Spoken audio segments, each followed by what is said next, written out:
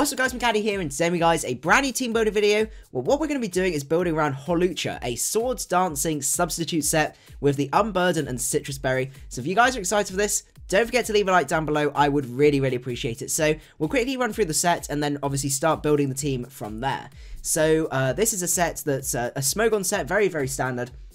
We've got 12 HPs and uh, 12 and HP, which basically means that we reach 300 HP and for uh, our Sitrus Berry to activate after two subs. Basically, uh, you need a, HP number divisible by 4. So this is the minimum amount of EVs you need in there to uh, get that you know number that's divisible by 4, basically. We've got 244 in attack and then absolute max speed here. So this guy's designed to outspeed most of the metagame. Sub up and sub up a couple of times. Hopefully get an SD up if you do preserve the sub for at least one turn. And uh, basically sweep teams from there because with the Unburden boost, we reach like 700, over 700 speed, which nothing's going to be out outspeeding us. And uh, we're basically good to go from there with only things like priority being a uh, big, big problem. So I'm really excited to use this set. I've never really used Hawlucha, I must admit. I've always slept on it. So uh, I'm really excited to give this guy a go in a live. So what we'll, we'll do is we'll do the team builder and then um, you give me suggestions on how to improve it, nickname suggestions and stuff like that. And then we will go and do a live uh, probably the week after or something like that. So I've been having a think about what teammates could go really, really well with Hawlucha. And basically what we need to do is design a team that's basically going to stop any problems uh, you know, causing to, to, not sweep, basically. So there's things like Thundurus with Prankster, um, Talonflame as well with um, with its uh, Gale Wings and things like that. Uh, things like Defensive Clefable can be a huge problem to try and get past, and also Unaware as well. So we need to have a think about ways to be able to beat those. And one Pokemon that seemed to work really well in my mind, synergetically, is Gengar. Um, because Gengar handles a lot of the things that uh, are meant to check Hawlucha and stuff like that, and uh, can hit them incredibly hard, as I said, things like the fairy types and stuff like that. So we're going to go for uh, the standard OU set. I apologize for hearing something in the background.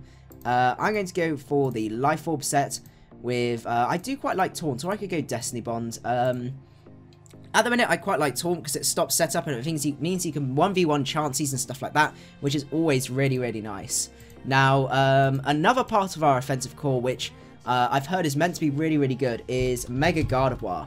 Because Mega Gardevoir has the advantage that it basically is a massive lure for things like Chanseys and Blissies, which Hawlucha can set up on and uh, basically do huge amounts of damage with high jump kick and acrobatics.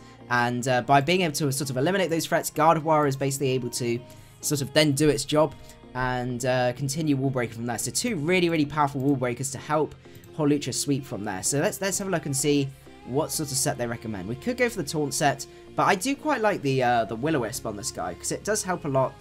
Um, let's have a look. Why do they say...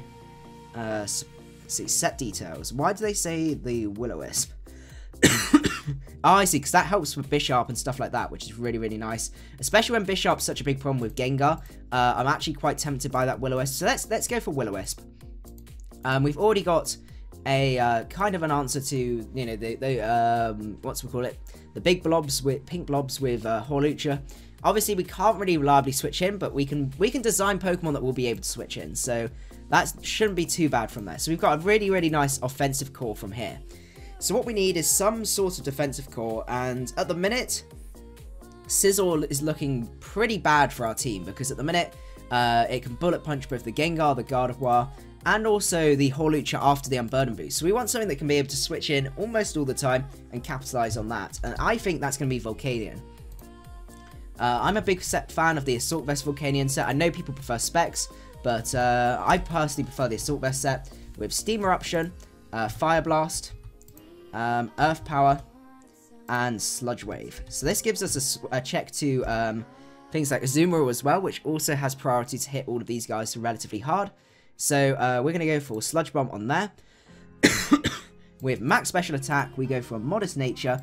And then I speed creep up to... Uh, I normally try and go for like 212 because I think a Rotom Wash. Rotom Wash, how much do you do if you're, if you're defensive? 208. So that allows you to outspeed a tiny bit invested min speed Rotom Wash and then the last amount in HP as well. So being able to hit outspeed Rotom is also really nice because you can go for, uh, you know, things like the Sludge Bombs and stuff like that, which actually do a respectable amount to Rotom, so uh, should be pretty good. It gives me a switch into powerful Water-type moves, which I haven't really got at the minute, so that's really, really nice. And uh, yeah, what else can we go for as part of our defensive core, or even more offensively? So, one thing that's looking spooky is things like, as I said, like Thundurus, um, Mega, what's it called, Mega Manectric, and stuff like that. So we want something to check those spooky electric types. And one thing that could actually work is uh, if we went for Raikou, because Raikou allows us to basically have a Volt Turner that can allow us to Volt Switch into Gengar or Gardevoir, get massive hits off, even into Volcanion as well, which is really, really nice. So we're going to go for a... Actually, I like this Vest set, I think, uh, because that allows us to tank the hits better. We don't hit as hard, I must admit, which I don't particularly like, um, but I still think it's going to be worth it. Hidden Power Ice. We could also bluff being Choice Scarfed as well, or even Choice Specs if they don't see the damage. Um, Volt Switch, uh, Thunderbolt, Hidden Power Ice, and let's see. So we could go extra. We already got Gardevoir for um, Extrasensory and stuff like that, so we could go Shadow Ball, and I quite like Shadow Ball because um, that allows me to check more of the Psychic types, um, especially Bulky Mew, which uh, outside of Gengar could could form a little bit of a problem. So having something that can hit uh, bulky psychic types could be quite nice. What other options we got? We've got Extrasensory. Uh, we've already got the guard Gardevoir, so I'm not too fast um, about that. Uh, overall, I think that might be the best way to go. Because we can't go for um, Aura Sphere, because otherwise we got to go for really stupid nature. And uh, I don't think it's worth it just for that nature. And we'll put the last four in there. Uh, that's all got our EVs in there. That's great. Okay. I'm just making sure we're using all of our EVs for all of these spreads. Okay. So we still need something to be able to ideally provide rocks and also get rid of rocks if we need to.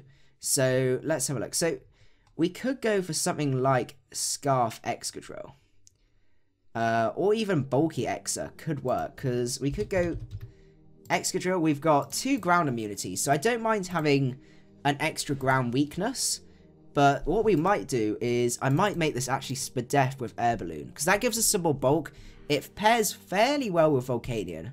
Uh, with Volcanion being able to take a lot of hits directed at uh, Excadrill. Excadrill, if it's Air Balloon, um, will be able to take any of those hits. So we could go for the bulky spinner set, but put the Air Balloon on there. And uh, I quite like the idea of that with uh, Stealth Rock. Instead of Toxic, we'll go Stealth Rock on there. So this gives us a Rocker, it gives us bulk. Uh, we've got Mold Break as well, so we can hit things like Rotom really hard, which uh, could potentially wall the Hawlucha and stuff like that. So we're going to go uh, Stealth Rocks on here. So it's like a more supportive set, but still should hit pretty hard with 307 um, attack. So I think that's going to be the team. So I hope you guys do enjoy it. Let me know in down below uh, basically how you want me to change it, if there's any adjustments to the sets and stuff like that, or even Pokemon, and uh, any glaring weaknesses. But from what I can see, it's looking pretty solid from uh, from here. We've got, we do have a let's see, predominance of special attackers, but uh, we are able to take out the, the uh, special walls, especially with um, Gengar being there. Hawlucha sets up over all of the pink blobs, which is nice. So I, I, think they could be a bit of a problem late game, but I think if we play our cards right, it should be okay. So anyway, let me know what you think, and uh, don't forget to leave a like if you did enjoy the video, and I will see you guys at the next one. macadii out.